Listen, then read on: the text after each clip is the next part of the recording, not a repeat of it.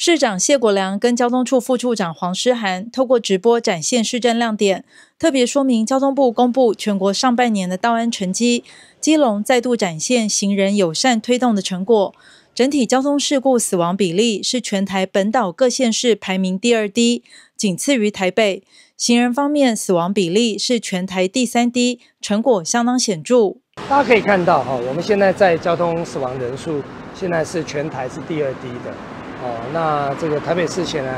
呃，是我们的第一名，首善之都。那我们其实也有这样的企图心，要来跟台北市一样，要来并列第一的一个这样子的情况。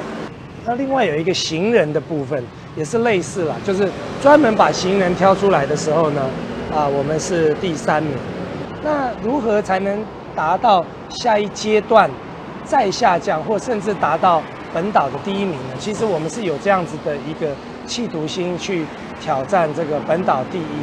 而为了让行人更安全，市长谢国良表示，十月起将针对行人方面来加强交通安全的观念宣导。那常常有看到，我不知道志明你有没有注意到，就是说明明这边有一个斑马线，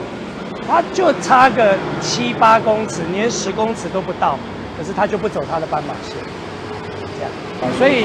我们在今年的十月、十一月跟十二月，我想我们会进入下一个阶段的宣导。我们会努力的来告诉行人，哈，我们尽量不处罚，只宣导的模式来告诉行人，就是说啊，不要这个呃轻易的就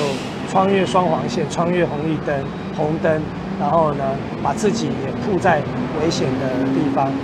市长谢国良说：“希望透过第一波车辆礼让的宣导，再到第二波的行人遵守交通安全的推动，让基隆成为全台最安全的行人友善城市。”记者黄日升、陈淑平基隆报道。